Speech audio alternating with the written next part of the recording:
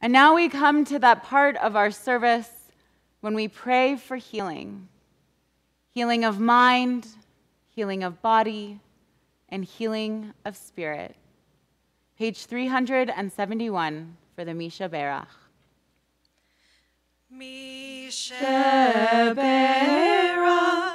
Avotenu M'kor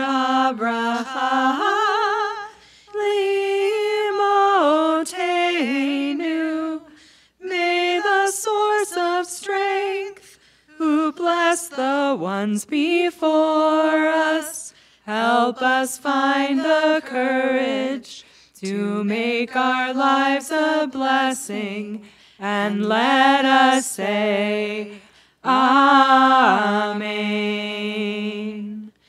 Mi shebeirach imotenu m'kor abracha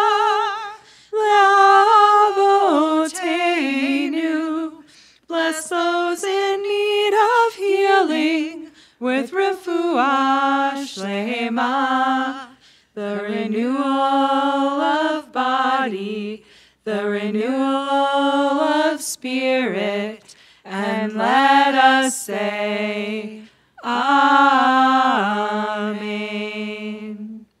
If you or someone in your circle of care and love is especially in, needing, in need of healing at this time, please do not hesitate to let us know.